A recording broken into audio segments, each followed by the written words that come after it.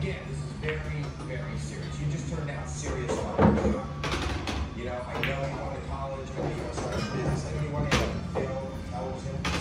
You know, it's, tough business. Yeah. It's tough to make money. You know, in America, people are fascinated by getting Every you turn out time. $140,000. Okay? That is a lot of shit. But hopefully it'll pay off. You say the odds